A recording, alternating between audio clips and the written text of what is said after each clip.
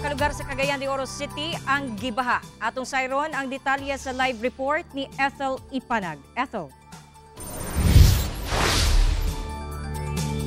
Diyan di dili moubos sa 500 ka residente ang apektado. Samtang 23 ka banay ang bihikling gabi sa evacuation center. Human gibaha ang pipila ka lugar sa syudad. Napuno og lapok ug dili na maitsura ang mga gamit sulod sa balay ni Nanay Catalina Santos. Dihang gibaha ang ilang lugar sa barangay Tablon Martes sa gabi. Sa kakusog sa bulog sa tubig baha, gisiguro na lang niyang maluwas ang kaugalingon sa ilang pag-evacuate.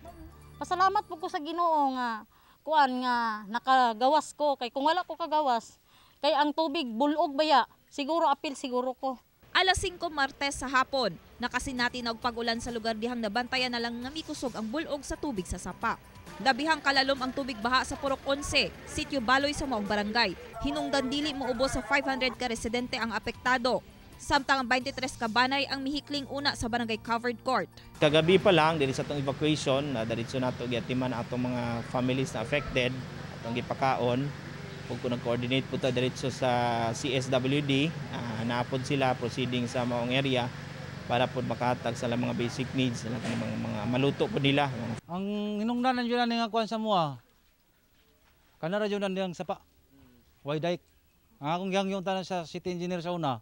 Paghubas sa tubig, namalik na ang pipila ka banay silang tagsa-tagsa ka mga balay aron manglimpyo. Apa nanawagan gihapon sila og tabang gikan sa LGU alang sa ilang pagkaon ug ubang pang mga panginahanglanon.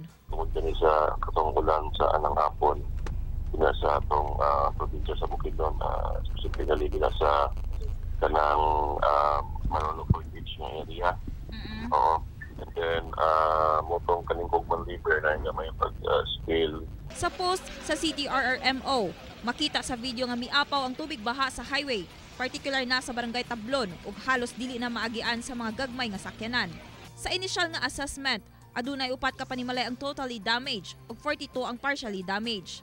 Ang mga pag-ulan sa pipila ka lugar sa Mindanao, epekto gihapon sa localized thunderstorm nga makamugna og mga pagbaha og landslide sa pipila ka lugar sa isla. Busa tambag sa pag-asa nga kinahanglan gihapon magbinantayon.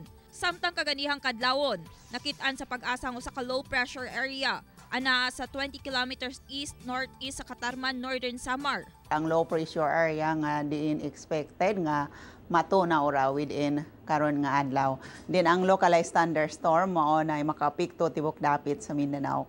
Ug ado na paghihapoy mga pagdagom sa hapon or sayo sa gabi labi na sa mga bukid nga dapit inubanan nga ado na mga pagulan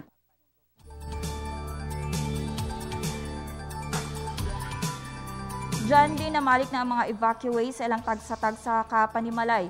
Gani pipila kanila nagsugod na sa pagpanglimpyo. Apan padayon gihapon sa pagmonitor ang LGU labi nga nakasinati na sab og pag-ulan ang ubang parte sa Bukidnon. Diyan di. Okay, dagang salamat Ethel Ipanag.